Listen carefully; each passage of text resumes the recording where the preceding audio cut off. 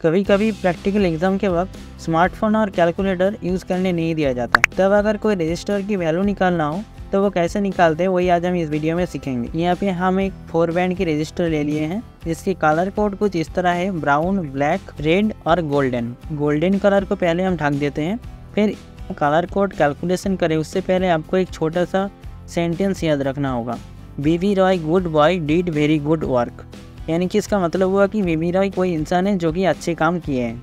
और आप स्क्रीन पर देख सकते हैं, जो लेटर जिस कलर को इंडिकेट कर रहा है, मैंने उसी कलर से उस लेटर को लिख चुका हूँ। टॉलरेंस के बारे में हम बाद में बात करेंगे, लेकिन अभी कलर कोड अगर कैलकुलेशन करना हो तो रजिस्टर में लेफ़्ट साइड से राइट साइड की तरफ़ हमें आगे बढ़ना है और एक एक कलर बैंड की कोड नंबर को बिठाते हुए जाना है। लास्ट कलर बैंड यानी कि रेड कलर बैंड को छोड़ के, क्योंकि वो मल्टीप्लायर होगा। नीचे लिखी हुई सेंटेंस के साथ अगर हम मैच करें तो पहले जो ब्राउन होता है, वो नंबर वन है।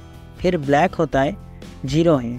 उसके बाद रेड होता है तो into ten to the power two होगा। क्योंकि आर हमारा नंबर टू है तो टेन टू दावर टू होगा। और टॉलरेंस गोल्डन है तो प्लस माइनस फाइव परसेंट होगा। अब टॉलरेंस क्यों यूज़ होता है, वो हम वीडियो के एंड में डिस्कस करेंगे।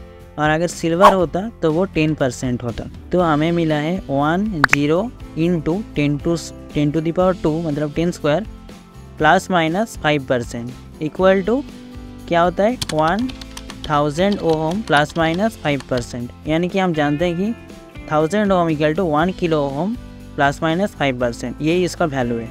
अब ये भी जान लेते हैं कि टॉलरेंस क्यों यूज़ किया जाता है। क्योंकि रजिस्टर की वैल्यू वैरी करते हैं। अगर किसी रजिस्टर के वैल्यू हंड्रेड ओम हुआ और अगर प्लस माइनस फाइव परसेंट हुआ तो उसका रेंज होता है ninety five to hundred five इसीलिए हर रजिस्टर में टॉलरेंस यूज़ किया जाता है।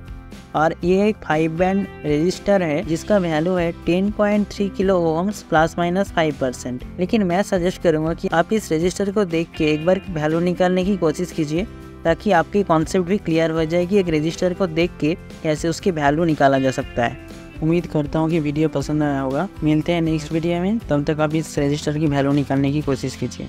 Thank you